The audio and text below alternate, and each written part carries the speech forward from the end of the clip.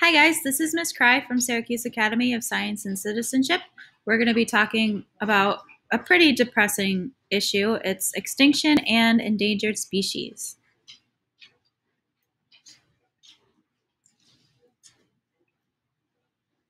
Extinction is a species that no longer has any living members. Here, I'm going to show you a list of five species that were listed as extinct in 2019. So this is a Sumatran rhino, Chinese paddlefish, Yangtze giant softshell turtle, Indian cheetah, and the Spix macaw. So those animals you will never get to see again. The next word is endangered, highly at risk of becoming extinct. So if something doesn't change, these animals will be extinct. Amur leopard, sea turtles. There's actually seven different species of sea turtles. Tigers, orangutans,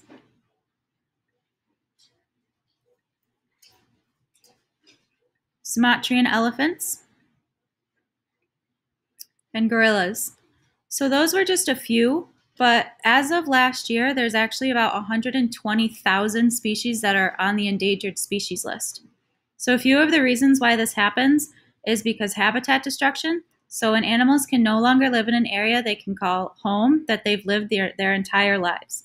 So they don't have access to the things they need to survive because of deforestation, filling in wetlands, or harvesting fossil fuels. So when you harvest fossil fuels, you're going into the forest with these huge machines and you're digging really deep down into the earth to get usable energy known as coal and it's just taking over all the lands of these animals.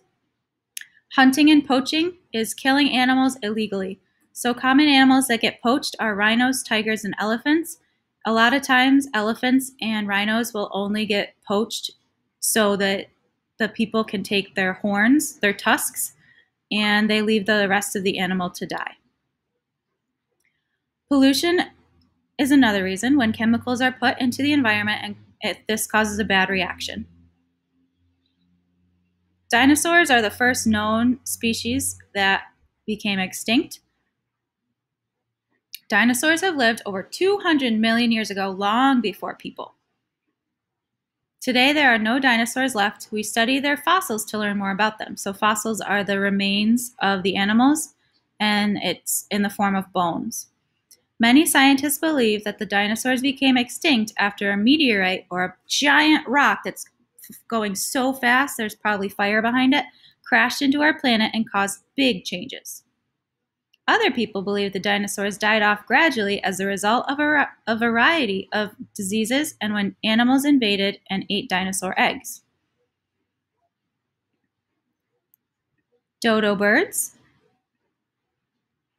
They used to live on an island off of the African continent and it was close to Madagascar. You can see this picture. It's kind of tiny. It's this circle of dotted red lines over on the right part of the map. That's where they used to live. In the 1600s, people landed on the island and began to hunt the dodos. This is about 400 years ago. These people also brought cats, rats, and other predators that led to habitat loss, and the dodo nests were destroyed. So ultimately, they became extinct. The western black rhino. This became extinct in 2011. In the 1900s, there were about 1 million black rhinos. Widespread hunting began taking over, and rhino populations began to decline. Rhino habitats were also being lost because people were using their homeland as farming fields and to settle down. Farmers only saw large herbivores like rhinos, remember herbivores only eat plants, as pests and dangers to their crops, so they continued to kill them. In 2001 was the last time anyone had seen a western black rhino. In 10 years, with no sightings of any western black rhinos, it was declared extinct in 2011. So, animals aren't the only thing that can be endangered and extinct. Plants can do this as well. So, chemicals called pesticides are being sprayed on weeds and crops to push away any unwanted bugs, but a lot of times it destroys the plants as well. So the green pitcher plant is an endangered carnivorous plant. Carnivorous is a meat-eating plant found in eastern U.S. It mostly grows in wetlands and marshes, but many are being destroyed to make room for buildings. So this is what the green pitcher plant looks like. The Rafflesia is a rare rainforest plant that grows the largest flower in the world, but it also smells like a dead animal. And this plant is almost endangered near extinction because of habitat loss.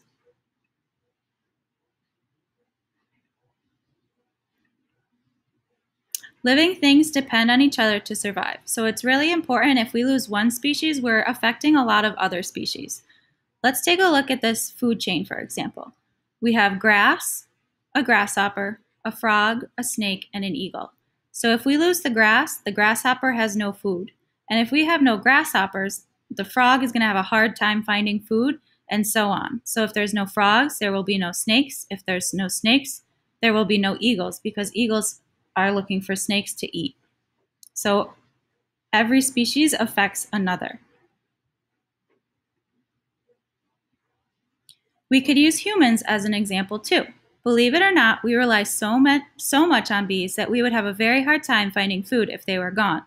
Bees also help some birds find food. So if bees are gone, the birds that rely on the bees are going to have a very hard time finding food as well.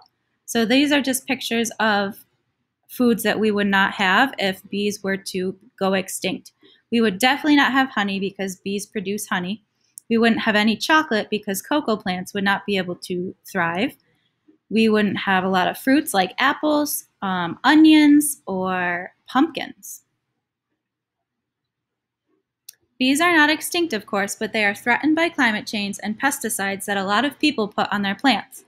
Pesticides not only pollute the environment, but once it rains, those chemicals will run off the plants and into the water supply like rivers and streams.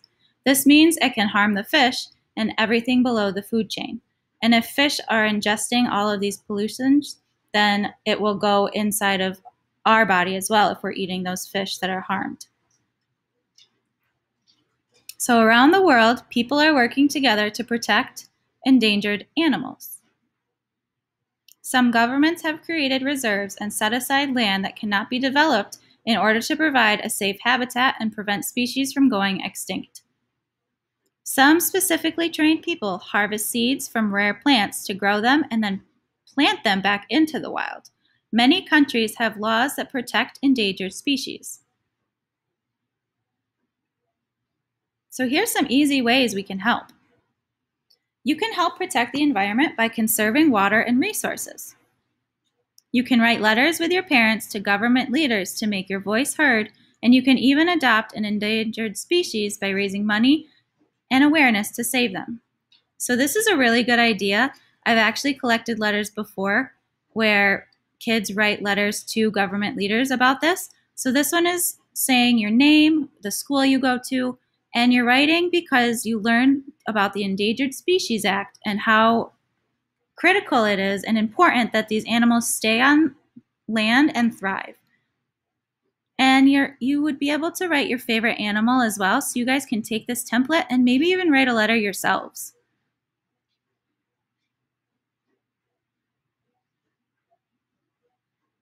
While Earth Day is recognized on April 22nd, we must treat every day as Earth Day. Clean up litter when you can, use reusable containers instead of plastic, and use less water when you can. So a reusable water bottle is a really easy way to do this. Um, you can use a water fountain instead of buying plastic bottles all the time. Maybe consuming less soda all the time.